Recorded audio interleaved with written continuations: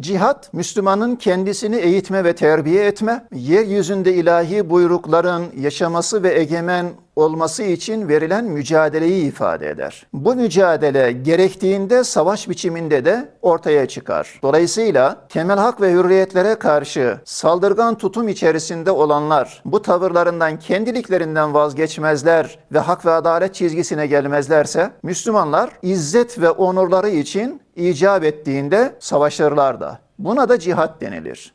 Dolayısıyla cihatla savaş arasında bir bağ var. O bağ cihadın bütününü anlatmıyor. Bir boyutunu anlatıyor. Çünkü cihadın temelde öncelikli üzerinde durulması gereken boyutu kişinin kendisini eğitmesi, terbiye etmesi ve iyi bir kul olma çabası işte budur. Ama karşı karşıya kalınan tecavüzkar tavırlara bağlı olarak gerekirse mütecaviz devletlerle, topluluklarla savaşılır. Bunun da adı cihattır. Kur'an-ı Kerim'de Peygamber Efendimizin sünnetinde cihat bu iki boyutuyla ortaya konulmuştur. Bu iki boyutuyla. Dolayısıyla bir boyutunda savaşta var. Fakat günümüzde özellikle savaş söz konusu olduğunda karşı karşıya olduğumuz tablolar ve onların zihinlerimizde oluşturduğu ön yargılardan hareketle gücün varsa ezersin, gücün varsa sömürürsün, gücün varsa işgal edersin, demokrasi ve hürriyet söylemlerini paravan olarak kullanarak yeryüzünün bütün kaynaklarını sömürürsün, işgal, bölme, talan hareketi yaparsın. Savaş deyince insanlar bunu anlıyor. Kan var, gözyaşı var, yetimler var, dullar var. Böyle bir tablo anlaşılıyor. İslam'da savaş anlamıyla düşünüldüğünde cihat